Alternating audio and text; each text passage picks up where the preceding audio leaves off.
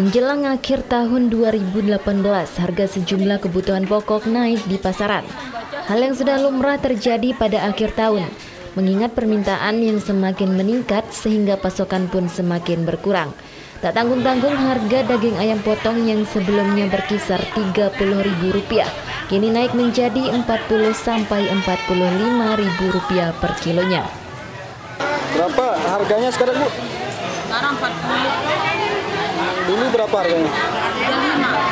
Kenapa bisa naik? Di akhir menjelang akhir tahun ini biasanya naik nggak barangnya ayam? Oh, kisarannya berapa naik harganya? Lebih ya?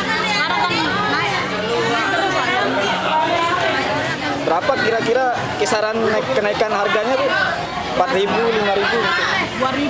2000 ya. Paling tinggi berapa biasanya Bu kalau akhir tahun? 5000 ya.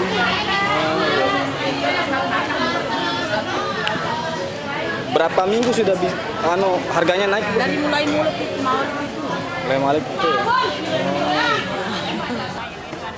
Selain daging ayam, harga kebutuhan pokok seperti bawang merah dan tomat juga mengalami kenaikan.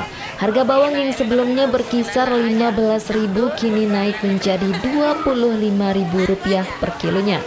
Sementara harga tomat yang sebelumnya Rp4.000 kini naik menjadi Rp10.000 per kilo. Dari semua ini yang naik berapa? Dengan bawang merah. Berapa harganya sekarang? Bawang merah modalnya 23 24 yang besar. Kita jual 25 26 dulu berapa harganya sebelumnya ya sebelumnya 15 14 18 jual 20 itu ke, di petani harganya segitu ya bu?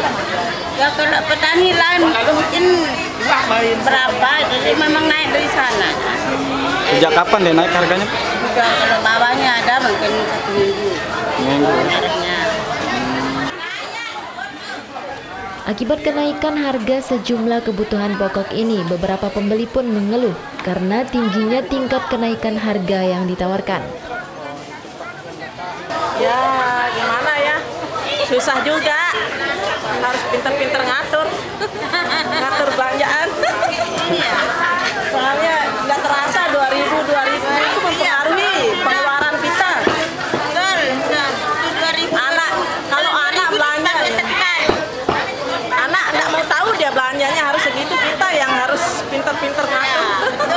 Dari naiknya harga ini bawang ini mungkin ada kendala dari segi makanannya bu Ya, kita kan tergantung dari bumbunya. Walaupun mahal terpaksa kita beli timbang nggak enak masakan kan, Bu?